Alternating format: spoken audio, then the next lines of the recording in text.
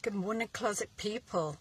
What exciting news out of Calgary Airport. I'm so proud that they've chosen our airport to do this.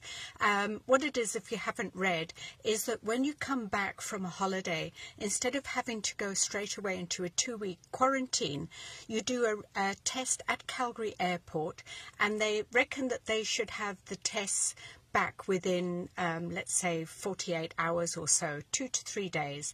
And then once you get that test, if it's negative, you don't have to quarantine anymore. You do have to have another test within six days, I think it is. Uh, but what this means is that it reduces that onerous two week quarantine, which a lot of people feel reluctant to undertake. Um, just you know to get away for a week and then you've got to come back and do a two week quarantine. I think especially for small business owners like myself you can't just uh, you can take a week off and then you can't just disappear off the face of the earth for two weeks.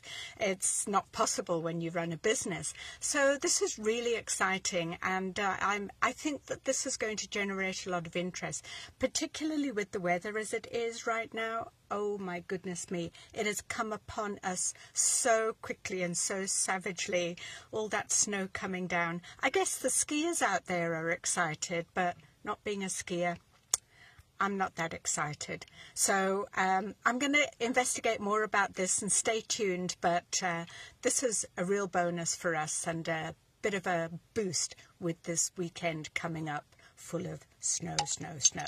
Okay, have a great weekend. Talk to you soon. Bye.